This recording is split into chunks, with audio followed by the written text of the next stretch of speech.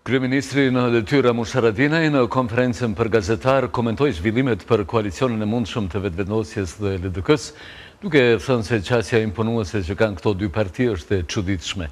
Haradinaj thotë se nuk duhet abuzuar me situatën dhe se zgjedhjet e reja nuk janë drejtimi i duhur. Kryeministri në detyrë, Ramush Haradinaj, duke folur për përpjekjet për arritje të koalicionit qeverisës Vetëvendosje LDK, tha se është mirë që këto dy parti të mos japin deklarata kërcënuese ndaj njëra-tjetrës, por të angazhohen për formimin e institucioneve. Haradinaj nuk e tha qartë nëse do ta votojë këtë koalicion, por zgjedhjet e reja i sheh si drejtim të gabuar. Kosova është lavdru për zgjedhjet ma të mira që i ka mbajt, është mirë me i ndërtu institucionet, pra një fare qasje e këtillë ta zomë imponuse ose ose kërcënuese ndaj njëri tjetrit që i ndëgjojmë te partnerët potencial të qeverisjes së ardhshme më duket e çuditshme mu, edhe nuk mendoj që është drejtimi i duhur ose ose mënyra e duhur me i pa Proceset se kush sa është i gatshëm për zgjedhje, nuk mendoj as që është momenti me fol për atë. Ne nuk e kemi definu rolin tonë si ndihmë një partie politike ose partive ose mandatarit. Por nëse Kosova ka vështirësi të caktume, ngecje të caktume, proceset kanë ngecje, na duhet me shqyrtue pra rolin tonë. A dojmë me qenë krejtësisht indiferent? edhe me lan kosovën me shkue, domethënë, me ndo procese të gabume apo dojmë me marr rol Haradinaj Shkurtazi përmendi edhe takimin e anëtarit të Vetëvendosjes Xhelal Sveçla me drejtorin e të ashtuquajturës Zyrë për Kosovën në Serbi, Marko Gjuriç. Për këto komunikimet me zyrtarët e institucioneve të Serbisë mendoj risi është veç kjo situata me Vetëvendosjen se ata një kohë të caktume e kanë pas qëndrim kundër tani kanë ndryshu qëndrim meriton shpjegim nga Vetëvendosja unë s'kam naj koment t'ju thom drejtën. Ndërsa, ankesën e Avokatit të Popullit në Gjykatën Kushtetuese për Ligjin për Paga në Sektorin Publik, kryeministri në detyrë Ramush Haradinaj e cilësoi si skenar me prapavijë. Është tepër zor për mu tash me me me thon këta që thon po e kam një farë dyshimi që po bëhen me qëllim me do skenare, të vonesave, të ligjeve, tjera. Pra, s'duhet me thonë kështu një kryetar qeverie, ne i besojmë ligjeve, institucioneve, gjithave edhe Avokatit të Popullit, gjithave, po e kam një dilemë, ose një dro që është pak dhe, e qëllimshme kjo zvarritje.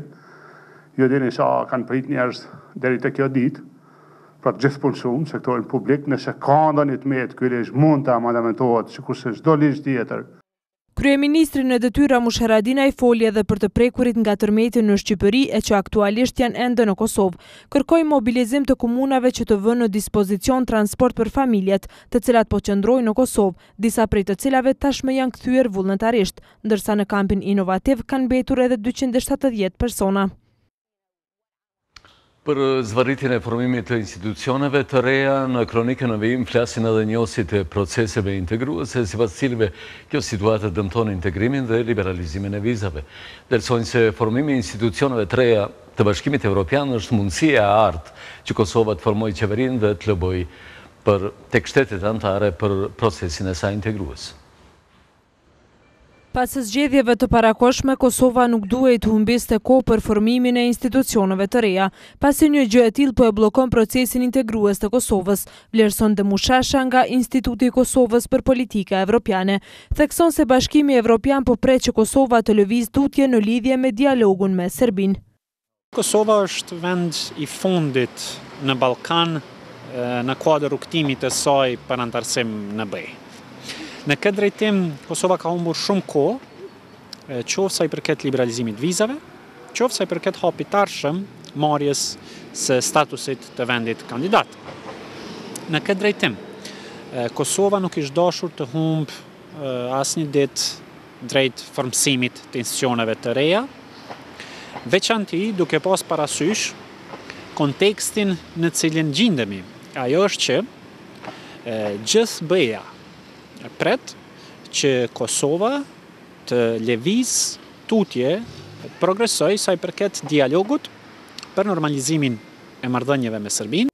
Njohësja e integrimit evropian Donika Emini thotë se vakumi institucional e ka lënë mbrapa Kosovën në procesin integrues. Ajo po ashtu kritikon qeverinë në ikje që nuk i kushtoi rëndësi politikës së jashtme të vendit. Vakumi institucional nuk po ndodh vetëm tash me dështimin për formimin e qeverisë, por ka filluar që nga shtatori kur veç u shpallën zgjedhjet edhe qeveria në ikje nuk i dha shumë rëndësi politikës jashtme edhe antarësimit Kosovës në BE, por edhe në procesin e dialogut me Serbinë. Fakti që ne u tërhoqëm nga aplikimi për anëtarësimin e Kosovës në Interpol tregon shumë, reflekton tepër këtë vakum institucional që kemi pas gjatë kësaj pjesës së dytë të vitit. Në krejt këtë proces Kosova nuk është askund, domethënë nuk dihet se qeveria e re ma s'pari a ka me pas objektiv Bashkimin Evropian si të tillë, si prioritet. Demush Shasha nga Instituti Epik bën thirrje për formim më të shpejtë të institucioneve për të çuar përpara procesin e liberalizimit të vizave. Institucionet të formësohen sa më shpejt, me qëllim të progresit në luftë kundër korrupsionit dhe krimit të organizum, duke hequr ndikimin politik në sistemin e drejtësisë, me qëllim, të sigurimit të liberalizimit vizave për qytetarët e Kosovës, nga një anë, nga ana tjetër, presim që institucionet të ndërmarrin reformat në rrugën tonë integruese me qëllim të marrjes së statusit të vendit kandidat.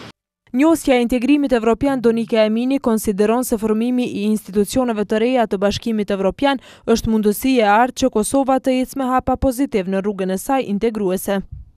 U pa që edhe Mogherini ja kaloi detyrën Borrellit, e para për sa i përket dialogut është shumë e rëndësishme sepse domethënë kjo është mundësia e artë kur qeveria e Kosovës do të kishte pasur për të ndikuar në politikat e BE-së, domethënë është ky ky sezoni i fillimit ku gjithë shtetet lobojnë për për veten e tyre në BE, me i tregu se çfarë kahje duhet të ketë komisioni i ri, çfarë qasje duhet të ketë ndaj një shteti të caktuar dhe ne këtë Mundemi me bë, po jo me kapacitete të plota, definitivisht. E dyta, sa i përket liberalizimit të vizave, Kosova ka dalë komplet defanziv, jemi jemi tu e prit veç vendimin e Këshillit nëse pe qet në agjendë apo jo.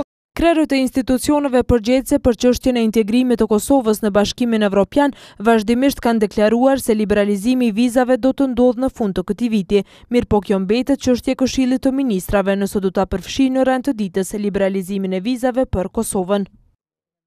Ambasada e Shteteve të Bashkuara të Amerikës në Prishtinë edhe sot e ka ripërsëritur se retorika nxitëse dhe rishikimi i historisë lidhur me ngjarjet e vitit një mijë e nëntëqind e nëntëdhjetë e nëntë janë të papranueshme. Ambasada nëpërmjet një komunikate thotë se janë të kujdesshëm në ndjekjen penale selektive të fjalës duke u bazuar në orientimin politik apo komunitetit Liria e shprehjes ka qenë prej kohësh parimi themelor i demokracisë. Ngjarjet e kësaj jave paraqesin edhe një rikujtim se sa i rëndësishëm është kthimi i Kosovës dhe Serbisë në tryezën e bisedimeve dhe të ripërqendrojnë energjitë e tyre drejt së ardhmes, duke normalizuar marrëdhëniet, thuhet në deklaratën e Ambasadës Amerikane në Prishtinë. Shefi i Misionit të Kombeve të Bashkuara në Kosovë, Zahir Tanin, ka shprehur shqetësimin e tij për siç është shprehur, përpjekjet për të shtrembëruar ngjarjet e dhimbshme historike, pas deklaratës së presidentit të Serbisë, Aleksandar Vuçiq, më pesë dhjetor, se masakra e Reçakut është trillim, Tanin thekson se është nevojë e domosdoshme për një gjyqësor të pavarur, pa paragjykime politike ose etnike. Njëherësh rikujton rëndësinë e të drejtës për lirinë e mendimit dhe të shprehjes, siç përcaktohet në nenin nëntëmbëdhjetë të Deklaratës Universale të të Drejtave të Njeriut dhe thekson se kjo e drejtë e fuqishme nuk duhet të jetë në kundërshtim me përgjegjësinë politike të zyrtarëve që të kenë një diskurs që mbron besimin e ndërsjellë dhe respektin Në ish-kampin e KFOR-it në Prizren ndodhen ende 300 shtetas shqiptarë nga zonat e prekura nga tërmeti. Faruk Daka, drejtori i emergjencave civile në komunën e Prizrenit, thotë se çdo ditë ndryshon shifra, pasi shumë prej familjeve po kthehen vullnetarisht.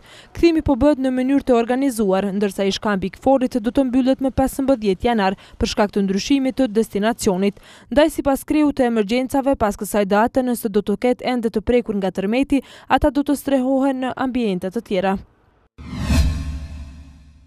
Ish kreu i komunës së Malishevës Isni Kilaj i është përgjigjur ftesës së Gjykatës Speciale. Përmes një postimi në Facebook ai ka shkruar se është nisur për në Hagë për t'u intervistuar. Kujtojmë se deri tani mbi dyqind e pesëdhjetë ish ushtarë të UÇK-së janë ftuar nga Gjykata Speciale. shumica prej të cilëve i janë përgjigjur pozitivisht kësaj ftese. Prevalla, Boga, Rugova dhe parqet e tjera nacionale në vend shumë shpejt pritet të bëhen me pagesë. Të gjithë ata që ua mësyjnë këtyre qendrave do të duhet të ndajnë para edhe për taksën, që do të fillojë të aplikohet së shpejti.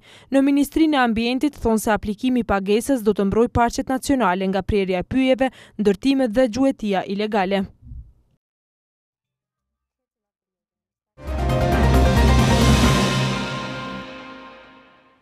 Kronika në vijim trajton problemin e traumës që nga gratë e dhunuara gjatë luftës barten tek fëmijët e tyre. Qendra Kosovare për rehabilitimin e të mbijetuarve të torturës është duke bashkëpunuar me institute të ndryshme edhe ndërkombëtare për të hetuar se si mund të kalohen efektet e traumës nga një brez në tjetrin. E mbijetuara e dhunës seksuale Vasfije Krasniqi Goodman, e cila ishte gjashtëmbëdhjetë vjeçare kur u dhunua nga dy policë serbë, theksoi vështirësi që ka pasur në rritjen e dy vajzave të saj, duke e fajësuar veten për atë që i ka ndodhur. E fajëson veten se a ke mujtë me arrit me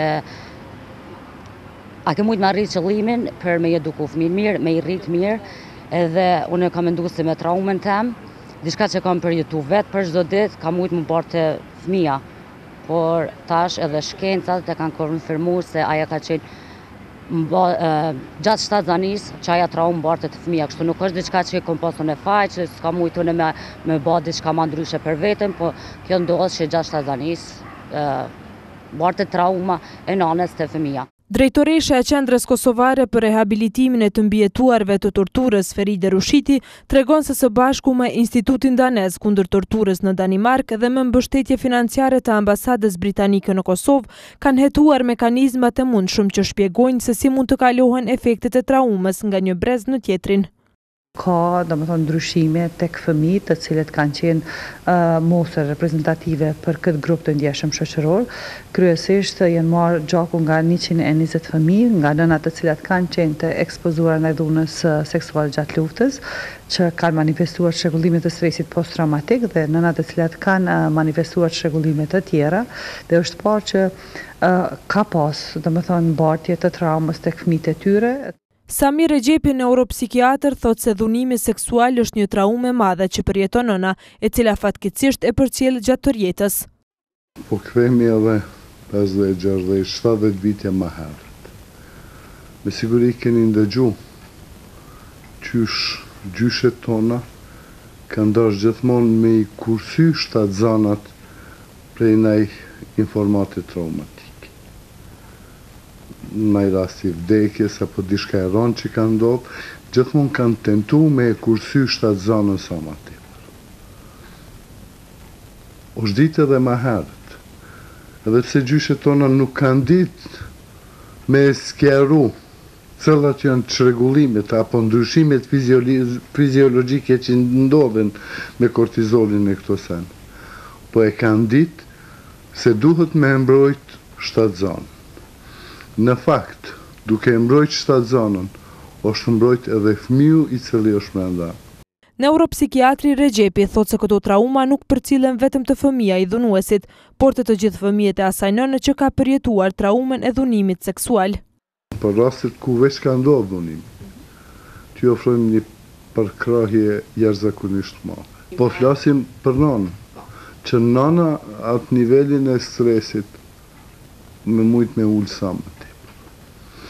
Te fëmija masi të lindin duhet me e pas një kuptim se normalisht kanë me qenë ma të ndishëm se fëmijët e nanave tjera. edhe mos me i akuzu. Ashtu që të dy palët kërkojnë një mbështetje shumë të madhe, një përkrahje shumë të madhe. Në Kosovë janë rreth njëzet mijë gra e burra të cilët janë dhunuar seksualisht nga serbët gjatë luftës së fundit në Kosovë, por që askush nga dhunuesit nuk është dënuar. Një nga problemet që i kemi trajtuar herë pas herë në emisionet tona informative është edhe pesha e rënde e çantave të nxënësve të shkollave fillore, të cilat ndikojnë negativisht në shëndetin e fëmijëve. Se çantat e filloristëve në vendin tonë janë të stërngarkuara, e vërteton edhe një hulumtim i Institutit Edguard, sipas cilit pesha e çantave është 17% më e rëndë se sa pesha e lejuar. Kjo çantë e nxënësit të klasës së parë peshon minimumi tre kilogram, ndërsa prindi i tij thotë se pesha e çantës së fëmijës së tij është shumë më e madhe ditëve tjera.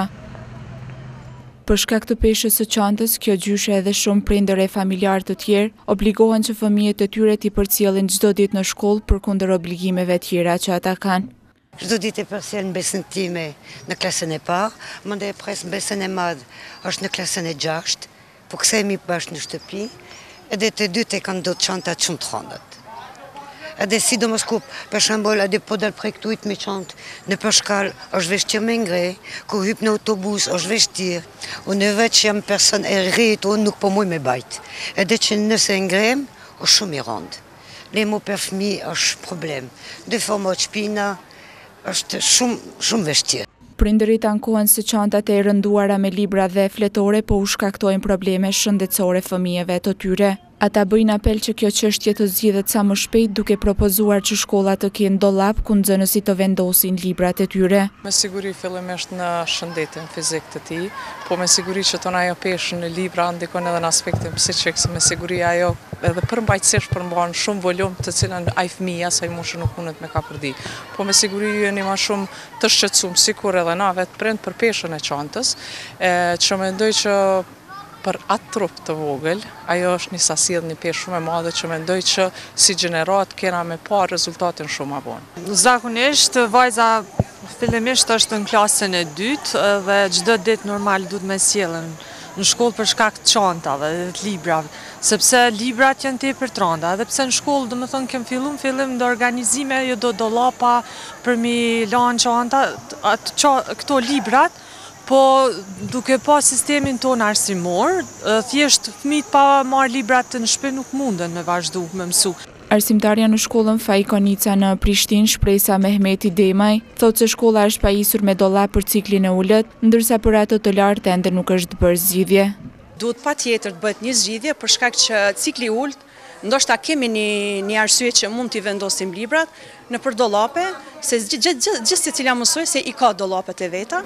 Kurse cikli i lartë e kam pak ma vështërsi, për shkak që janë dikund, ndoshta mund ta quaj shtatëmbëdhjetë deri tetëmbëdhjetë kilogramë për shkak që janë dikund tetëmbëdhjetë landë gjithsecili që mund të hy secili librat e veta obligative, po kurse ne cikli i ultë i kemi bërë zgjidhjen për shkak që lëndët e shkathtësive i vendosim gjithsecilja mësimdhënëse nëpër dollapet e tona. Sipas një hulumtimi të bërë nga Instituti EdGuard, del se çantat e fëmijëve peshojnë shtatëmbëdhjetë për qind më tepër se sa pesha e lejuar nga mjekësia. Drejtori i Institutit, Rinor Qehaja, tha se qëllimi i këtij hulumtimi ka qenë ofrimi i të dhënave empirike rreth peshës së çantave të fëmijëve. Neve kemi paraqitur një listë e rekomandimeve, të cilat fillojnë nga përkujdesja e prindërit në shtëpi për përzgjedhje dhe reshje të teksteve shkollore sipas orarit, pra që të mos futen të gjitha librat në çantë, po po ashtu edhe rekomandime për vetë mësimdhënësit, që të cilët pra të i njoftojmë fëmijët dhe prindërit se cilët cilat janë ato libra që kanë përdorim më të shpeshtë. Qehaja thotë se pesha e madhe e çantave ndikon në shëndetin e përhershëm të fëmijëve, duke iu shkaktuar atyre probleme të ndryshme shëndetësore. Pra, pesha e madhe e çantës, përkundër që ka shqetësim për një ndikim të përhershëm në shëndet të fëmijëve, ka rezultuar që ka një ndikim më shumë në jorahati më të përkohshme, pra me sëmundje qofshin ato të qafës ose të të shpinës si skleroza e gjitha këto bie fjala. Sipas standardeve të përcaktuara nga Organizata Botërore e Shëndetit, ngarkesa fizike te fëmijët nuk guxon të kalojë dhjetë përqindshin e peshës trupore të tyre.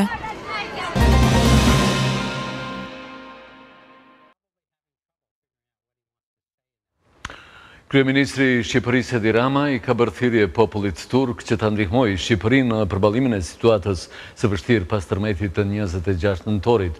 Në konferencën ndërkombëtare të nivelit të lartë për investimet publike dhe private të organizuar nga presidenti turk Rexhep Tajip Erdogan, Rama tha se Allahu i do më shumë ata që janë të dobishëm për të tjerët dhe që ndihmojnë çdokënd që është në vështirësi.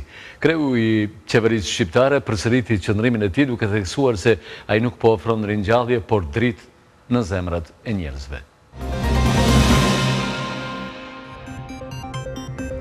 Shikues të nderuar, na ndiqni edhe në internet në adresën tonë rtv njëzet e një pikë tv.